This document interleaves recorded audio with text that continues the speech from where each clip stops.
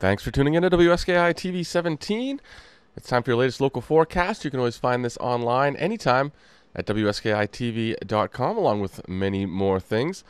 Well, looks like we'll see some clouds roll into our area for Tuesday. We'll see a 70% chance of morning showers. They should be out of the area by noontime. So it'll be a wet morning out there. Northwest wind around northeast wind around 5 miles an hour and high temperatures getting into the upper 60s and overnight lows right around the 50 degree mark. Wednesday looks like a great day. Partly sunny skies, a calm wind becoming north to east around 5 miles an hour in the afternoon. High temperature of 72 degrees and an overnight low of 56. With that partly sunny skies, should be a great day to get out and enjoy some outdoor activities here in Maine's High Peaks region. Thursday, we've got cloudy skies, a 40% chance of showers with a high of 69 degrees.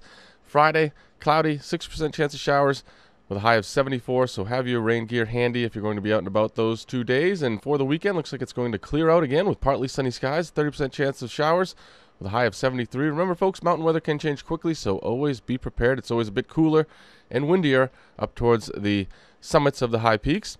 Sugarloaf's hub for summertime activities. The outpost is open, offering off-road Segway tours, scenic lift rides, zip line tours, canoe and kayak, as well as stand-up paddleboard rentals. Uh, so go check that out right on Main Street in uh, the village of Sugarloaf. Stand up paddleboards are now available at the Flagstaff Hut with Maine Huts and Trails, and also next weekend, June 13th through the 15th, they're having a uh, guided fly fishing uh, seminar. So check that out. You can find out more at mainhuts.org. And grades 6 through 12, ride with experienced riders, learn new techniques, perfect your skills. It's going to be a great couple weeks of camps. There's two five day camps offered, so be sure to check that out if you're into mountain biking and want to improve your skills.